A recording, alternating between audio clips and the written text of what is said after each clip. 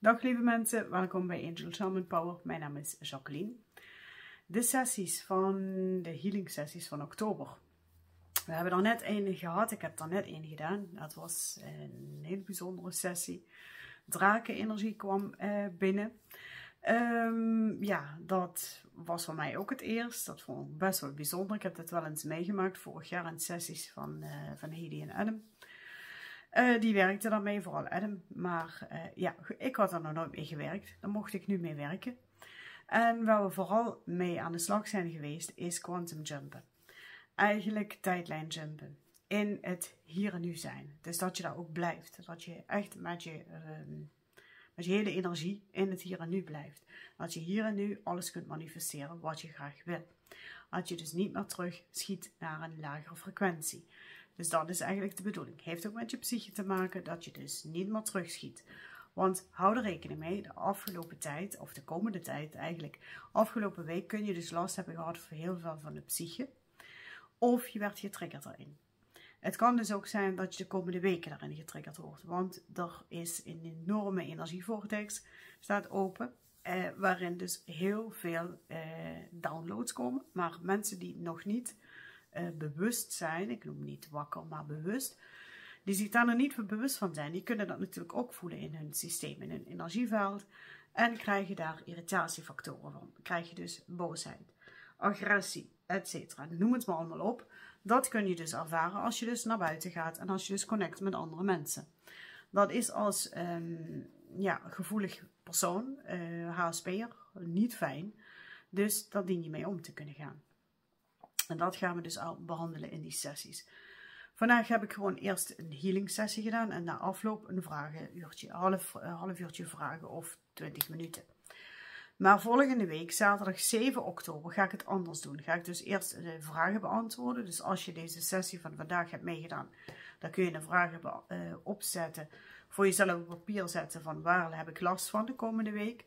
Als je nog niet hebt meegedaan, als jij in jouw proces dus nu problemen ervaart, dan is het belangrijk om dat op te schrijven. Als je daar vragen over hebt, dan zou je dus mee kunnen doen aan die sessie. Eerste, eerste ja, drie kwartier geef ik dan eigenlijk uh, iedereen de mogelijkheid om vragen te stellen. Om te vragen van wat is dat? Dit is in mijn leven gebeurd, dan ga ik daarop in. Krijg je ook soms uh, hele gedetailleerde informatie, zoals vandaag ook moest. Um, het had met huisreiniging te maken, ook dan krijg je dingen door wat daar spelen. En dat krijg je dan ook te horen. En daarna gaan we dus in de healing. En hoe dat allemaal gaat, dat laat ik altijd stromen. Ik bepreid een, een klein gedeelte uh, standaard voor. En de rest, de energie die zich aandient, dat weet ik natuurlijk ook niet. Nu waren het de draken, terwijl ik eigenlijk ja, het gevoel had van ik werk met de... Tuurlijk was uh, Isis er ook, en, maar daar kwam extra de drakenenergie bij. En met drakenenergie, als die zich melden, heeft heel vaak te maken met hele zware stukken die opgeschoond mogen worden of echt dat alles eh, weggebrand wordt. Nou, dat. 14 oktober heb ik een voor afgenomen healing. Die stuur ik je dan toe. 21 oktober hebben we dus weer zo'n ja, vraag en antwoord en een healing achteraf. En zaterdag 28 oktober is dus echt een volledige healing sessie van een uur. Zeg je nu, ik wil aan die sessies meedoen, dat kan. Die van volgende week, 7 oktober, staat er los in. Dan heb ik nog een, uh, ja, een, een, combinatie van 7 en 14 oktober. En een combinatie van ze alle vier. Ik heb dat dus, eerst was dat, waren het er vijf, dus nu zijn er nog vier over. Nou, logisch hè, dan krijg je er nog vier. Dus als je mee wil doen, en als je zegt van ik wil dus met een krachtige healing vooruit en ik ben het zat dat alles niet stroomt in mijn leven, zou ik zeggen, uh, ja, probeer het eens, hè, volgende week. Uh, dan zie je zelf hoe dat voor jou kan werken. En als je zegt van ik wil het echt mm, even de ervaringen zien van andere mensen, kijk op mijn gastenboek, op mijn webshop. Daar staat dus ook, er staan dus heel veel reacties van mensen die mee hebben gedaan aan deze sessies. Ik heb er meerdere gedaan natuurlijk het afgelopen jaar. Ja, ook het afgelopen jaar. Um, dus lees daar even wat de ervaringen zijn van andere mensen. En ja, goed. En wie weet, zie ik je in de sessie van uh, of 7 oktober of in die andere sessies. Ik wens jou in ieder geval een hele fijne week. Geniet van het weer. We hebben nog heel fijn weer in ieder geval. Uh, geniet ervan. Uh, blijf in je eigen kracht. pas op dat jouw energie niet getriggerd wordt door mensen buitenaf. Ik heb dat gisteren gehad, dat heb ik een paar uurtjes last van gehad. Dat was niet fijn. En sinds nu, sinds de healing, is mijn energie weer helemaal uh, zoals het was daarvoor. Want die was, uh, ja, ik was heel blij en ik, was, ik vond het allemaal goed. Het, alles ging, liep goed en stroomde goed. Dus ik was super blij. En dan maak je iets mee. Dan zie je iets en dan komt dat binnen als een baksteen. En na een uurtje of twee had ik zoiets van, wat is dit? Dit is niet voor mij. Want dat is ook weer waar de psyche je op kan pakken. Dat het dus gebeurt via andere mensen, via omstandigheden buiten jou. Want dit gebeurde buiten mij, het had helemaal niks met mij te maken. Maar ik zat daar een paar tafeltjes naast en ik hoorde dat. En dat was niet fijn, dat was echt lage frequentie. En dat komt dan binnen. En ja, dan moet je dus echt uh, heel erg alert zijn van wat doet dat met mij. En, uh, maar ik had ook, mijn gidsen hadden mij ook gewaarschuwd afgelopen week, Jacques, neem je stenen weer mee. Ik heb dus echt, ik werk heel veel met edelstenen, met kristallen. En ik heb dus um, altijd setjes, uh, meestal aan mijn, uh, ja, aan mijn BH of zo doe ik dat, maar nu zijn dat er te veel. Dat is te lastig. Dus ik heb ze nu in mijn broekzak. Ik ga eens even kijken wat ik ze heb. Ik heb ze in een zakje gedaan. Eigenlijk hoort dat op je huid te hangen. Dat is beter. Maar goed, is niet zo. Dus ik heb het nu gewoon in zo'n uh, zakje. En ik heb er een stuk of zeven. En dat raad ik je niet aan. Als je niet werkt met stenen, raad ik je geen zeven aan. Ik, kan het, ik heb er geen last van. Voor mij werkt het. En dan zullen misschien mensen zeggen, ja maar dat is eigenlijk voor jou ook te veel. Het kan me niet schelen. Ik voel me daar prettig bij. En ik kan het verdragen. Ik heb daar geen last van. En uh, ik doe dat. Ja. En ik doe dat al jaren. Als ik voel dat ik er meerdere nodig heb, dan is dat zo. Dan moet ik dat gewoon. Uh, dit is het setje wat je dus ook kunt bestellen op de webshop. Dat is een hematiet. En dat is een hematiet. Dat is een hypersten.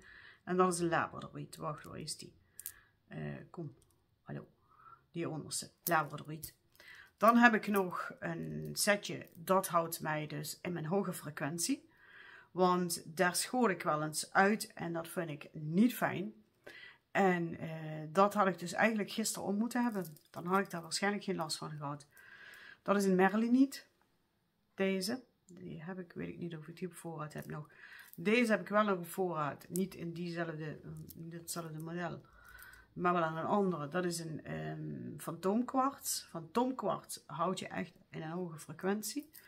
Dan voelde ik dat ik de Maria Magdalena Lemurium moest hebben. Die hoort daar normaal niet bij. En deze, dan weet ik even niet meer wat dat voor steen is.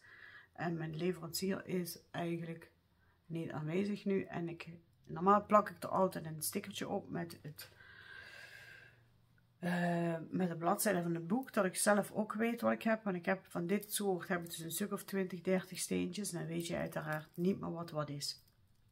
Ik ken er heel veel, maar al die bruine, die lijken op elkaar en dan weet ik het niet. En als ik hem een foto stuur, hij weet precies wat het is.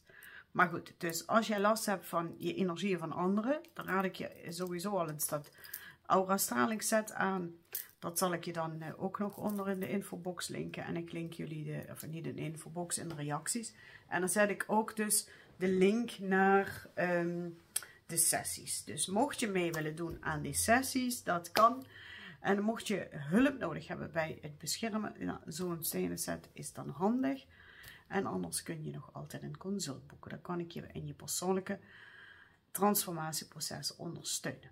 En zorg dat je in je hoge frequentie blijft. En zorg dat je, of als je daar nog niet in zit, dat je daar naartoe gaat. Dat je zo min mogelijk last hebt van andere mensen. En dat je in je eigen energie blijft. In mijn eigen energie blijven kan ik wel. Maar als dit gebeurt, wat daar gisteren gebeurde, was niet fijn. En dat, uh, dat komt dan uh, snel binnen. Maar het belangrijkste is, als je het dan merkt van, hé, hey, zo was ik vanmorgen niet, zo was ik gisteren überhaupt niet hoe kan dat? Wat is er gebeurd? En dan ga ik even schakelen van wat is er gebeurd? Hoe heb ik me toen gevoeld? En toen kwam ik er heel snel bij uit dat het daarmee te maken had. Ja, en dan is het zaak om die energie uit je systeem te krijgen. En dan dien je ja, dat op te schonen, energetisch. En als het dan opgeschoond is, dan, ja, dan is het weer, eh, dan ben je wel happy. Dan, tenminste, ik heb zoiets van, ja, nu is het klaar, nu, is nu voel ik me weer prima, gelukkig. En ja, maar zelfs, ja, ik moet daar ook op letten. Uh, goed, dankjewel voor ehm, het kijken. Mocht je hulp nodig hebben, dus dan weet je me te vinden. En anders, wie weet, zie ik je snel in de sessies of elsewhere, wou ik zeggen. So to speak. Goed, dankjewel en uh, ja, fijne dag. Doei doei. Namaste.